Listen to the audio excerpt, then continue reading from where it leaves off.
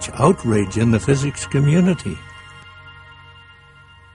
To most classically trained physicists, the concept of low-level nuclear reactions producing significant heat energy was inconceivable. The nuclei of atoms are all positively charged and naturally repel one another.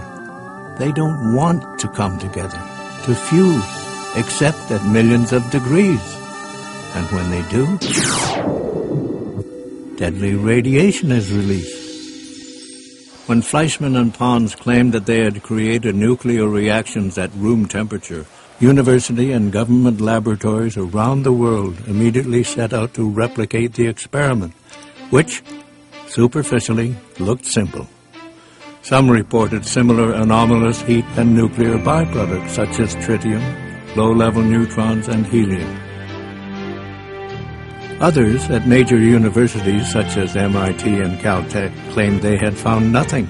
The idea that two chemists could be doing this on a tabletop uh, really sounded uh, very almost Alice in Wonderlandish, I must say. So uh, I think our reaction was not unlike that of other physicists who who thought, uh, on the one hand, gee, that'd be marvelous if they're doing it. And then on the other hand, my God, chemists doing it for probably pennies compared to what physicists have. Have uh, taken from the public coffer over the last 40 years, the order of $40 billion to do hot fusion. So the nuclear physics community said, well, you know, the nuclear physics of this is looking very strange. It doesn't seem to be right. Where are the neutrons? Where are the gamma rays? And eventually, I think because of this uh, nuclear, bad nuclear physics, and because of the fact that people were having difficulty reproducing this, the physicists threw out the uh, uh, good baby, which was the excess heat effect, along with the bad uh, nuclear interpretation bathwater. That was very unfortunate. At SRI International in Menlo Park, California, Dr. Michael McKubre was one of the first scientists to replicate the cold fusion effect. Fortuitous or not, uh, in the first experiment that we uh, ran, some three or four months after the initial announcement, we saw some evidence of excess uh, heat, uh, which has really sustained me uh, ever since. Having seen the effect with my own eyes, the claims from a few that this is impossible um, inconsistent with all known laws of uh, nuclear physics.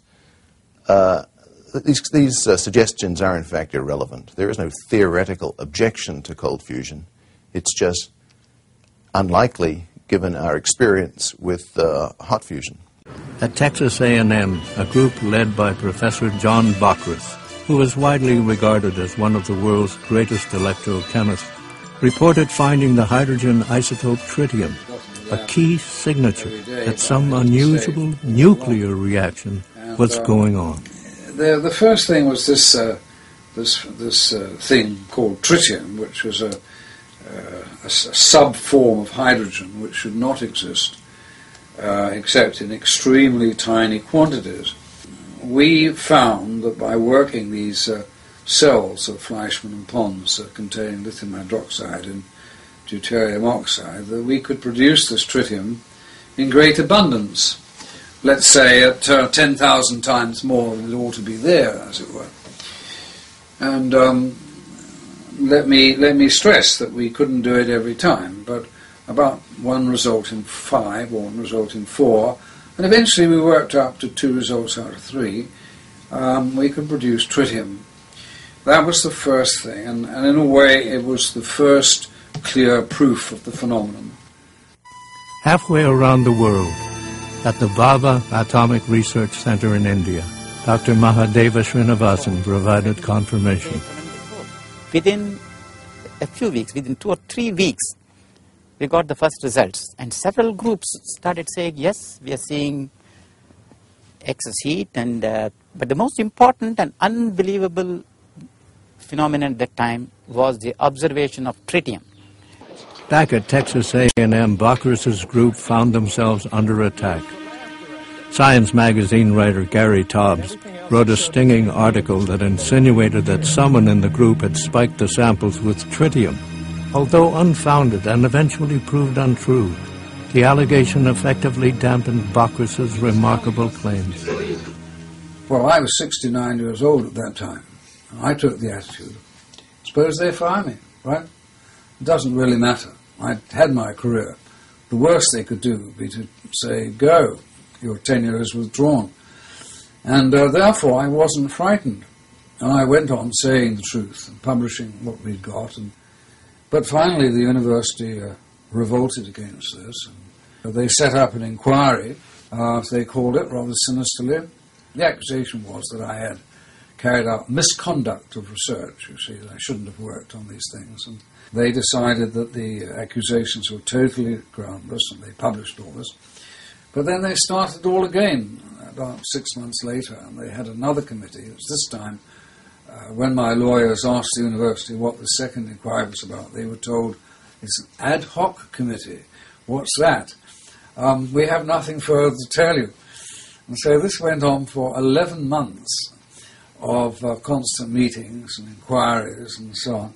And I'm quite sure that uh, they were trying to find an excuse to end my tenure, you see. Getting tenure in most traditional uh, science departments depends on doing mainstream research. Being a leader in mainstream research, but doing mainstream research, and not doing fringe area research investigating things like cold fusion. Uh, once you're tenured, uh, it's a bit of a different story in that, uh, in principle, you can investigate any field you like, and people have done that. But even then, uh, the way things are connected uh, with money, um, power, and universities today, uh, your life can be made rather difficult if you are identified with those areas. Finally, they came out uh, okay. I mean, they gave me another letter. I'd had the letter of complete exoneration. This time it said that they had uh, spent this 11 months and had found that I had never done anything, the phrase used were, uh, that contravened the rules of procedure of this university, or something rather formal and stuffy like that.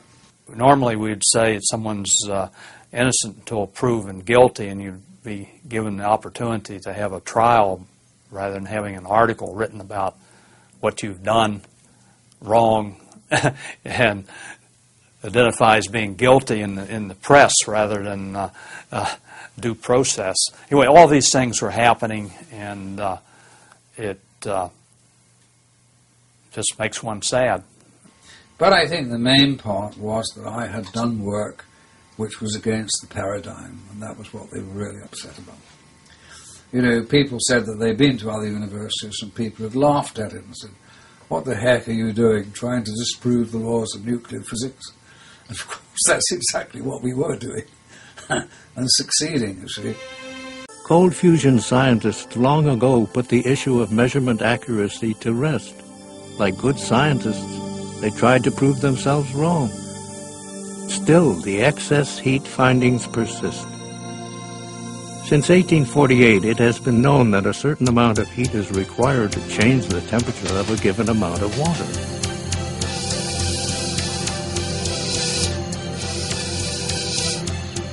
At premier labs such as SRI International, Dr. Michael McKubre has determined that the effect is neither fleeting nor difficult to measure. The cold fusion cell is enclosed in a calorimeter, which has thermocouples at various key points to read the temperatures. The experiment looks extremely complex on the surface, but fundamentally it is simple. An ordinary coffee maker provides an analogy. Cold water goes in, hot water comes out. The temperature of the water is read before the electrical input is supplied, and then again as it rises.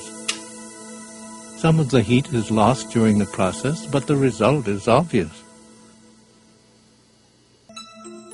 McKubre's calorimeter works in a similar way, but with an accuracy of one one-thousandth of a degree. The cooling water flows in a steady stream and passes the inlet thermocouple, which measures the temperature. It swirls around the cell, cooling it down and carrying off the heat. When it exits, the outlet